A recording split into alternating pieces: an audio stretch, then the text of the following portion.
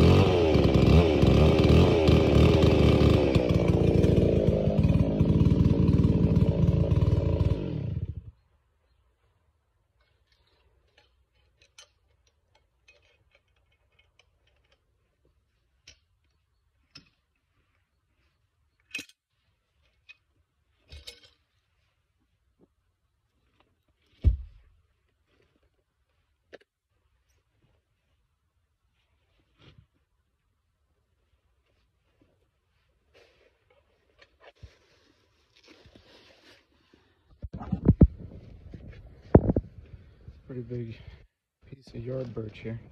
It's getting pretty nasty here now. It went up about 10 feet and then it doubled. There's the seam. Definitely uh, fairly hard and stringy, that's for sure. Got a uh, 20 inch bar on the 066 Carlton full full uh, chisel full comp with uh, one sharpening on it makes a huge difference on this Carlton chain.